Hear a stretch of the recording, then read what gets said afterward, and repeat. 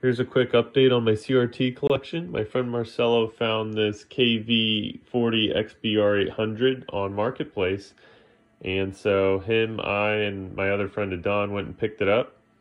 It's beautiful. It's got a 40 inch screen, weighs 325 pounds. The sound on this is really good. It has very good speakers. Uh, the picture is pretty good as well.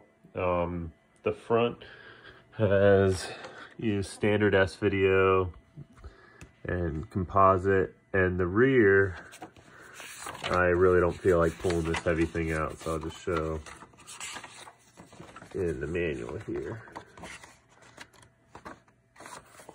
On the back, you have your DVI, your HD, S-Video component, auxiliary, all that stuff. So, yeah. Um, it's a really nice set. Stands really nice, too.